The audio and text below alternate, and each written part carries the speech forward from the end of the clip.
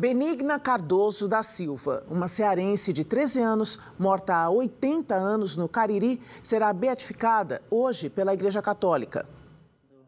O Vaticano anunciou 24 de outubro de 2022 como a data oficial da beatificação.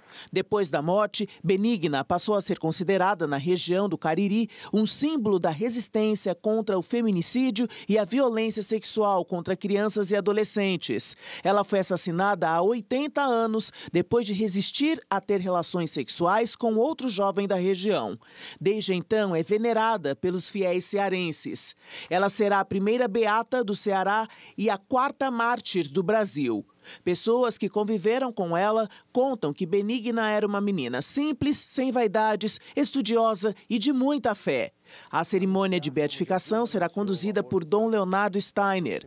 Benigna nasceu em 1928 em um sítio em Santana do Cariri. O processo para a beatificação com aval da Santa Sé começou em 2013. O Papa Francisco concedeu a autorização para a beatificação em 2019, mas as celebrações foram suspensas pela pandemia.